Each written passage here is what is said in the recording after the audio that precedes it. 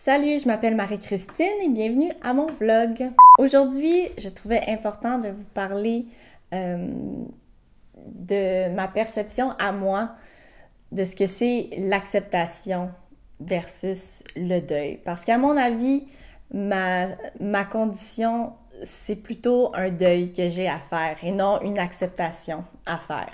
Euh, les gens me demandent souvent, est-ce que j'ai accepté mon sort, est-ce que j'accepte ma condition? Mais la réponse, c'est non.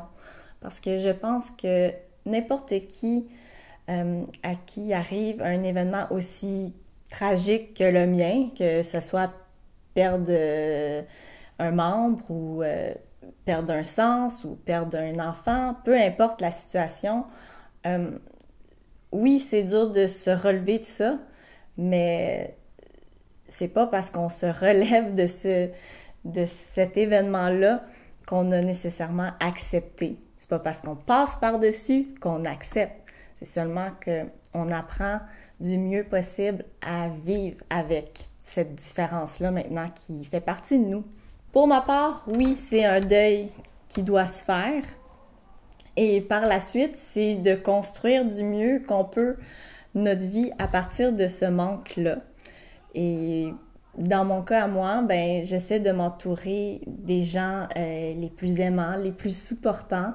Et euh, j'ai la chance d'avoir un merveilleux petit garçon qui embellit ma vie à tous les jours. Et c'est ce qui fait en sorte que non, je suis pas là à tourner le couteau dans le plaie à chaque jour, mais que oui, la blessure sera toujours là, mais je serai pas là à gratter le bobo toute la vie.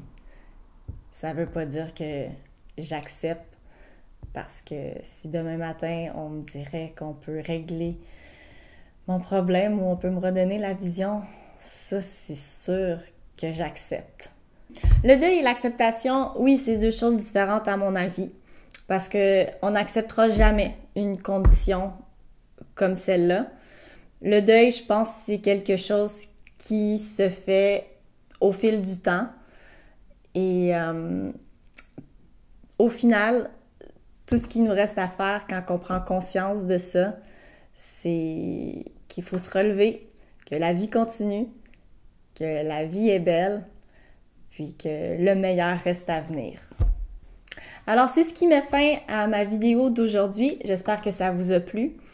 Et en fait, c'était la dernière euh, vidéo de cette euh, série-là.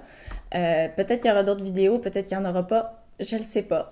En attendant, vous pouvez toujours me suivre sur Facebook et Instagram ou encore vous pouvez cliquer sur le lien ci-dessous la vidéo. Merci, ciao ciao!